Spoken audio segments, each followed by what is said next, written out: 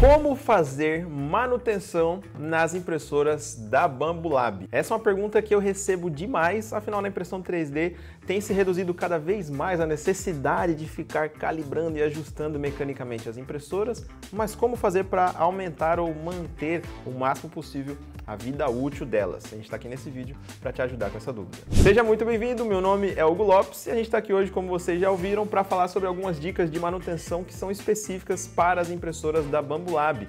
É uma marca que exige muito menos ajustes mecânicos para que você chegue a uma qualidade desejável, mas muita gente pergunta, cara, que tipo de manutenção tem que fazer, onde eu lubrifico, que tipo de lubrificação a gente faz. Então hoje eu peguei as informações oficiais, as recomendações da própria Bambulab e trouxe aqui para vocês. Para a gente fazer essas lubrificações e limpezas que eu vou passar aqui para vocês, a gente vai precisar de alguns materiais, então já anota aí a sua listinha.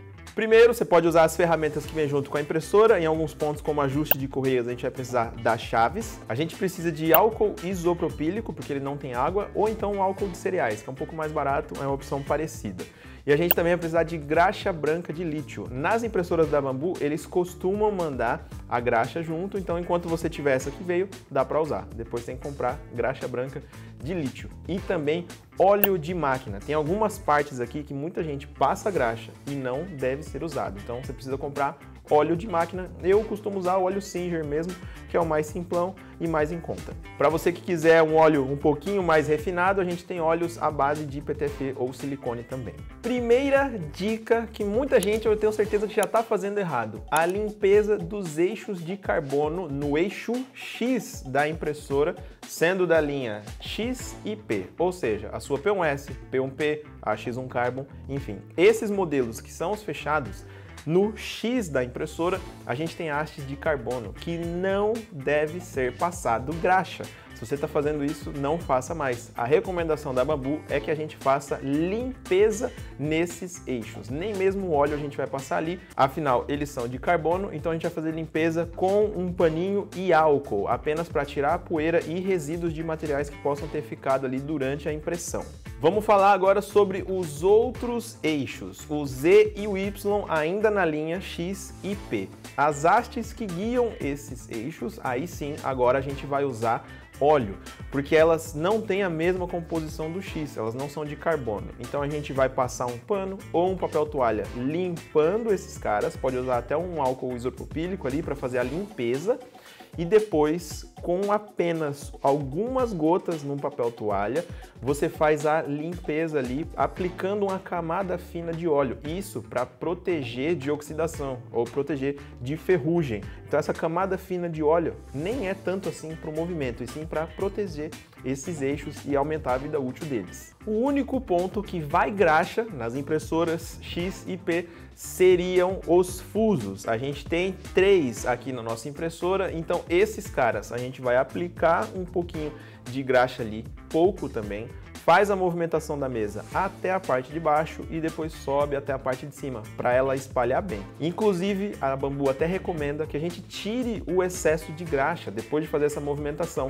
porque a camada de graxa já foi é, distribuída em toda a rosca ali, tudo que sobrou em cima do rolamento ou em cima da castanha ali é excesso e a gente pode remover. A graxa também se aplica ao fuso na linha A1. Então, quando a gente tem a A1 Mini, apenas de um lado a gente faz da mesma forma. Aplica um pouquinho de graxa ali, faz a movimentação do eixo até o final, nos dois sentidos, para cima e para baixo, e aí o excesso você pode remover também. A frequência com que você tem que fazer essa lubrificação do eixo Z é a cada uns dois a três meses, dependendo da sua frequência de uso. Usuários mais intensos, a cada dois meses. Se você imprime de modo razoável, um robista, a cada uns três meses aí está adequado. As guias dos eixos Y e Z nas impressoras fechadas, que a gente usou apenas uma camadinha de álcool para limpar e uma de óleo para proteger, vai ser o mesmo método para agora usar no eixo X e Y na linha A1 e A1 Mini.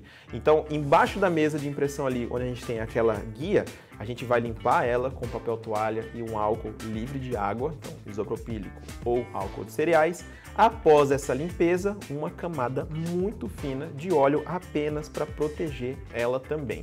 Você vai fazer isso tanto na guia embaixo da mesa, como também na que guia o movimento do hot end.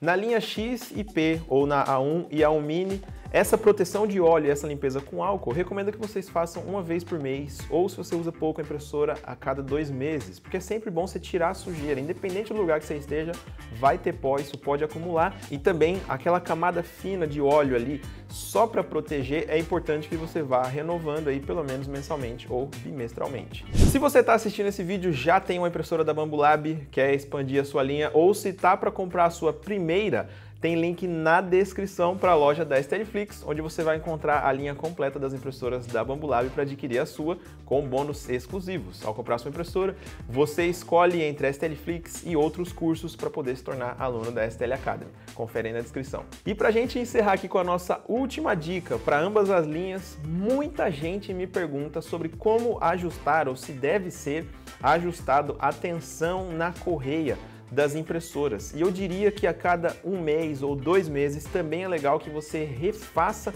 o ajuste de tensão. Felizmente, em ambos os modelos, a gente tem esse ajuste semi-automático. Você apenas precisa dar início ao processo e depois a própria impressora tem um sistema ali que vai ajustar a tensão correta. Então você vai fazer o seguinte: atrás da linha X e P, você vai encontrar duas polias, uma de cada lado, onde você pode afrouxar um pouco o parafuso. E cuidado, não faça isso até ele se soltar, não solte até o final, apenas afrouxe.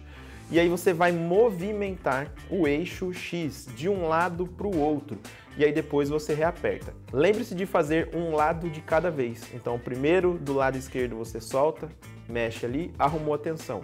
Do outro lado você repete o processo. Desparafusa, move o cabeçote, depois parafusa de novo. Já na linha A1 Mini, a gente apenas tem que fazer esse ajuste na mesa, então a gente vai na parte de trás desparafusar o protetor ali da polia e aí você solta o parafuso de baixo. Você vai observar que tem dois parafusos ali, o de cima você não mexe, é só o de baixo que ele solta o tensionador.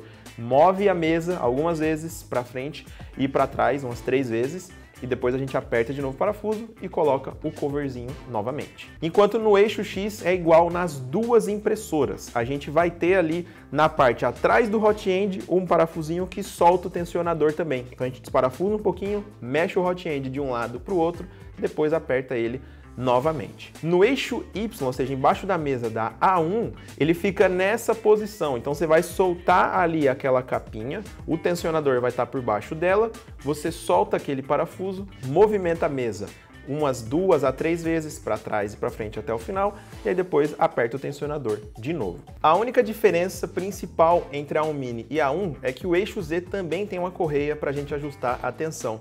E esse tensionador tem o mesmo método. A gente vai afrouxar um pouquinho ali os parafusos que ficam do lado direito da impressora, vendo ela de frente, bem do ladinho ali do fuso. Então você solta um pouquinho, movimenta, pode até usar o painel da impressora, movimenta o eixo X até em cima, depois até embaixo ali, como se fosse para construir uma peça mesmo algumas duas vezes, e depois é só fixar de novo. Quero que você deixe nos comentários se você gostou dessas dicas, se você sabia de todos esses métodos que eu fui verificar com a Bambulab, a recomendação deles, e também comente aí que tipo de outras manutenções ou outros itens que você gostaria de ver a gente instruindo aqui no canal.